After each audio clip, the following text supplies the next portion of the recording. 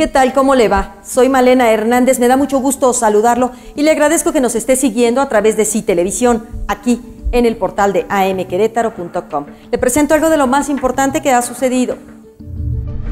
La Secretaría de Seguridad Pública en el municipio de San Juan del Río localizó una nueva toma clandestina a ductos de petróleos mexicanos. En esta ocasión, el arreglo se hizo a escasos 100 metros de una institución educativa privada en la zona sur del municipio. La corporación policiaca notificó el aseguramiento de tres camiones con cisterna, cada uno con capacidad de 35 mil litros.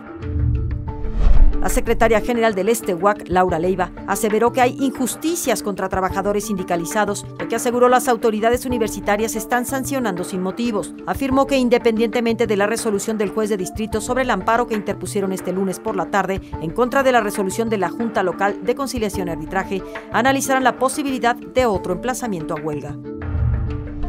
En tanto, el director jurídico de la UAC, Oscar Guerra, aseguró que no se han iniciado procedimientos administrativos en contra del UAC. Asimismo, pidió en rueda de prensa a la secretaria general, Laura Leiva, que precise la información ya que aseguró no hay trabajadores en esta situación y la Universidad Autónoma de Querétaro aún está a tiempo de cumplir con lo acordado en el convenio que realizaron hace dos años cuando hubo estallamiento de huelga. Ese fue uno de los motivos que argumentó el presidente de la Junta Local de Conciliación y Arbitraje, Marco Antonio Sánchez Mandujano, para su determinación de declarar improcedente el estallamiento de huelga de la universidad. Además dijo no hay conflicto de intereses en la resolución que determinó la Junta Local, ya que se tomó la decisión entre tres representantes de autoridades laborales. El Procurador Estatal de Protección al Medio Ambiente y Desarrollo Urbano, José Alfredo Cepeda Garrido, confirmó que le corresponderá a la siguiente administración estatal aplicar los 5 millones de pesos del Fondo Ambiental que se han acumulado a partir de sanciones a las empresas. Detalló que estos recursos no se ejecutarán durante esta administración debido a que no se cuenta con el reglamento de la administración del Fondo Ambiental. El director general de la Unidad Estatal de Protección Civil, José Gerardo Girarte, informó que el Sistema Estatal de Protección Civil se mantiene en alerta amarilla de prevención ante la posibilidad de precipitaciones. Informó que en los siguientes tres días en el estado de Querétaro se prevé por la tarde-noche lluvias de moderadas a fuertes, acompañadas de granizo y actividad eléctrica en la zona centro, sur y metropolitana del estado.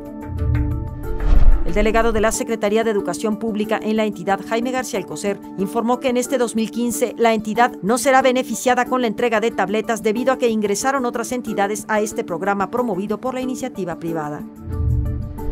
Nueve personas fueron detenidas luego del enfrentamiento que se registró este domingo en Santa María Magdalena, en el municipio de Querétaro, aseguró el Procurador General de Justicia Arsenio Durán Becerra, quien indicó que se investiga la situación jurídica de cada uno de ellos. Los disparos de arma de fuego que se registraron en la zona se derivaron de una riña en un partido de fútbol, aseguró por su parte el secretario de Seguridad Ciudadana, Adolfo Vega Mototo, quien indicó que mantienen una vigilancia constante en esta zona. En tanto, solo uno de los lesionados durante el enfrentamiento en Santa María Magdalena permanece hospitalizado dijo el secretario de Salud Mario César García Feregrino presidente municipal electo de Querétaro, Marcos Aguilar Vega, viajó a la ciudad de Medellín, en Colombia, en donde participará en el Global Meeting 2015 Cities for Life, que se realiza este 31 de agosto y 1 de septiembre, espacio que tendrá dos componentes, el político y técnico, en donde reunirá a los alcaldes y mandatarios para generar un debate sobre el papel de las ciudades en un mundo globalizado y los principales desafíos que enfrentan hoy en día. Recuerde que la información nacional e internacional más importante del periódico Excelsior puede encontrarla al interior del periódico AM de Querétaro. El portal de Excelsior está informando de la explosión de un polvorín en España que dejó cinco muertos. Un estallido se registró en una empresa pirotécnica en Zaragoza. Le pido que permanezca atento a toda la información que le estamos proporcionando a través de nuestras redes sociales y por supuesto aquí en el portal de amquerétaro.com. Soy Malena Hernández y lo espero en el próximo corte informativo.